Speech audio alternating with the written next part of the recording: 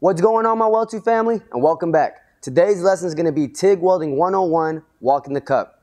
Let's get to it.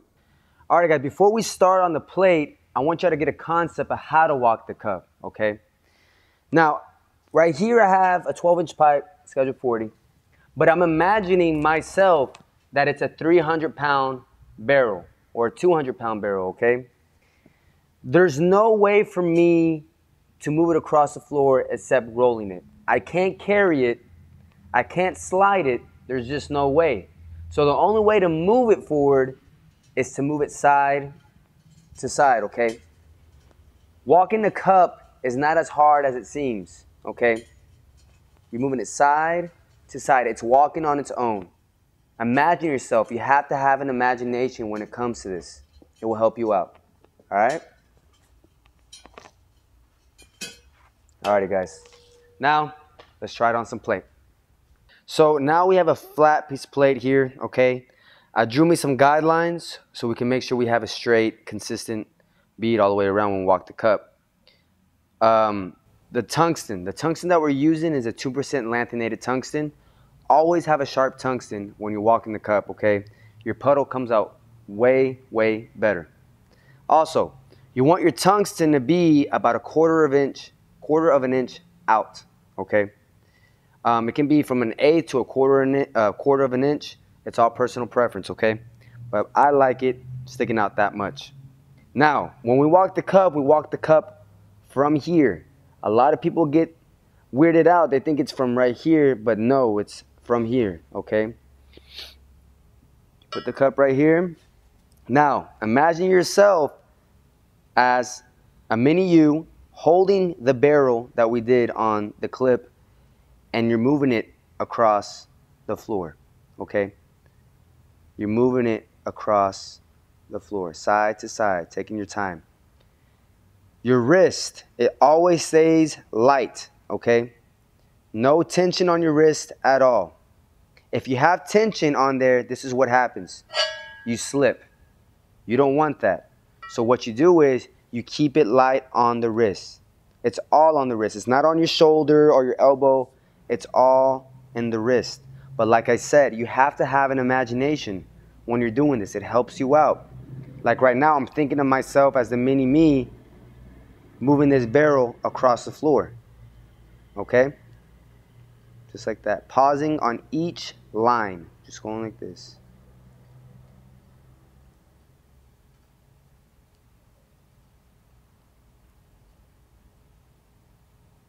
All right, now what we're gonna do is we're gonna add it with an ER70S2 1 8 filler wire, okay? And when I do that, I'm gonna leave the filler wire right in the middle of the puddle and I'm gonna burn it. Still walking the cup, I'm gonna burn it the whole way. I'm not moving the rod back. I'm keeping it there, leaving it there, and just burning that rod from corner to corner but leaving the rod in the middle of the puddle, okay? Watching that puddle hit each line. All right? Now, let's try it out. Alrighty, guys. So, I'm running at 175 amps for walking the cup, okay? We're using a Miller XMT 304 for our machine. Make sure you always have a sharp tungsten, okay? You see how my filler rod is right in the middle. It might look like I'm pushing it back every time that I'm walking it, but I'm not. It's just laying on there, okay? It's just melting it away. Like I said, guys, walking a cup is not as hard as it seems. You know, when you first try it, your hand gets uncomfortable. Like, you can see it in your head how to do it, but when it when your hand actually tries to do it, it's uh it doesn't want to. It feels like it's numb, you know. I understand that. So a good habit for y'all to do as well is get you a um, a TIG torch, a flex head TIG torch, just the torch itself, and walk it around anything that you see that's flat, horizontal, vertical, overhead that will help you out a lot as well. So you might have a barbecue pit in the backyard, okay, and it's round. So you can practice walking a cup on that. You might have a, um, you know, just having, I guess, just have an imagination, guys. You know, just anything that you see. It can be a fillet weld, you know, it can be a pipe, it can be whatever you think that's gonna help y'all out. Just walk it around anything that you see Walk it on the floor, walk it on the walls, you know. On the walls is good. If you do that about 35 minutes a day, just walking it, and when you actually start welding, then it's going to become muscle memory in your hand, and it's not going to be hard for you anymore, okay? You're not going to overthink it so much. Because that's the main thing. That's why y'all struggle especially for the beginner starting to walk the cup, that's why you struggle because you overthink so much because it's doing like a loop, it's turning, it's walking, and you don't really know what to do. Y'all force it forward when really walking the cup is moving on its own. Okay? That's something y'all keep in consideration. Just get y'all a TIG torch and walk it on anything that you see that's flat, horizontal, vertical, or overhead. And it will help y'all out tons, okay? At least 35 minutes a day. At least. That's what that's what I did when I first started started off. Keep your filler rod too about a 10 degree angle, 20 degree angle as well. Don't keep it flat like that. Always at an angle, okay? There, that's the first bead. I think it came out it came out pretty slick, so that's all consistencies. The guideline right there is to make sure I'm consistent, you know? Always have a guideline for yourself. All right, guys. Now that I got the first uh, bead, it's very important to know how to stack your beads as well, okay? Especially when you get to pipe or plate. Stacking your beads is important. You always want it 50-50. So on the next arc shot we're to get is 50-50. So my rod is to be right here, right on this line where the, the weld ends. And I'm to go from here to the middle of the weld. Here to the middle of the weld. The rod is still in the middle of the puddle the whole time. All right, guys? Just like that, right to the middle. Right to the middle. Okay? Right to the middle. Very consistent the whole way.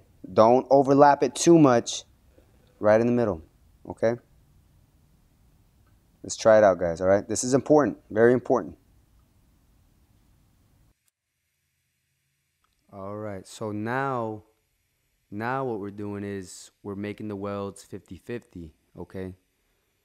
Very, very important to know how to uh, stack your beads when it comes to heliarc or stick or whatever that you do because when it comes to pipe and you actually have to do a two to three bead cap, you want to be able to stack it nicely, okay? So always remember that.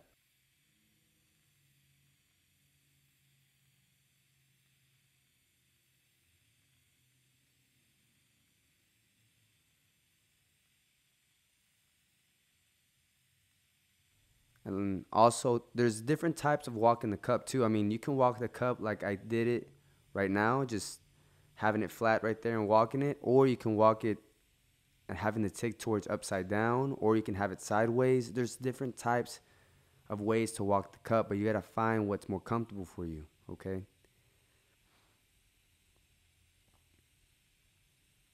Find what's more comfortable. Y'all see the angle of my rod? about a 30, 20 degree angle on it. Y'all see how I'm not pushing no rod. I'm not moving it back or anything. I'm just leaving it there, just laying it there.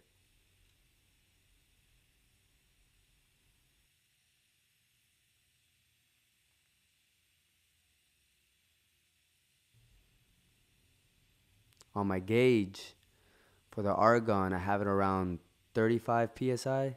Yeah, around 35 psi. Between 30 and 35 is good, okay? On the gauge.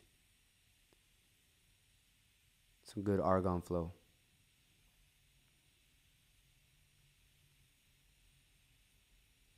One thing about me is that I always like to keep a sharp tungsten, okay? Any of my students that, if you ask and you ever join our facility, our school, our academy, I'm very strict with coming with sharp tungstens because that can make you or break you as far as making your beads consistently and making that puddle form consistently. If I hit my tungsten one time, just stick it on there, I sharpen it again.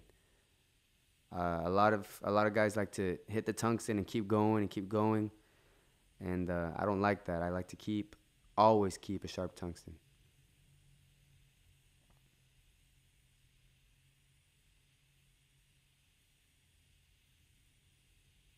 Take y'all's time, okay? There's no rush to walk in the cup. Take your time. Watch that puddle.